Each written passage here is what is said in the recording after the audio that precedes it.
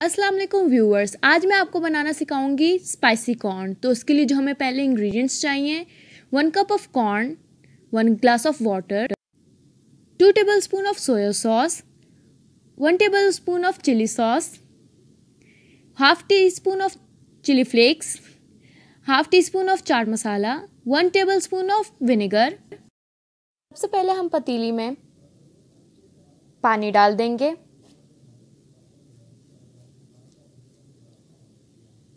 और flame on कर देंगे।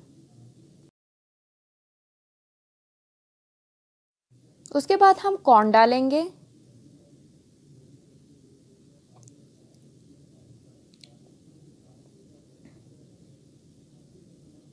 और मिक्स कर लेंगे। पाँच मिनट पकाने के बाद उबाल आ जाएगा।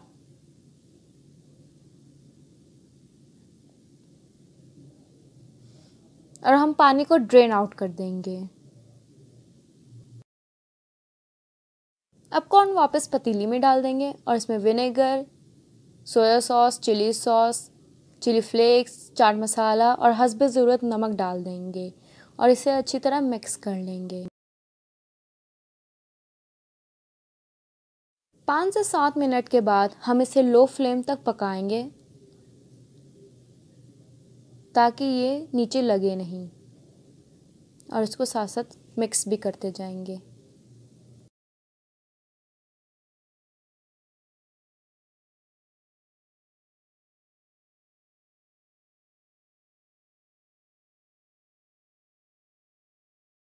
पाँच से सात मिनट के बाद कॉर्न ने सारा मसाला जस्ट कर लिया है। हमारी डिश तैयार है।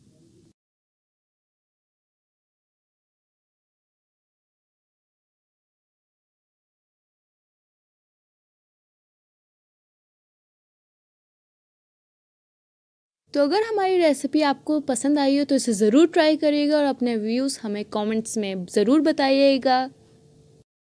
और हमारे चैनल को लाइक करें सब्सक्राइब करें और शेयर करें और बेल आइकन को दबाना मत भूलिएगा।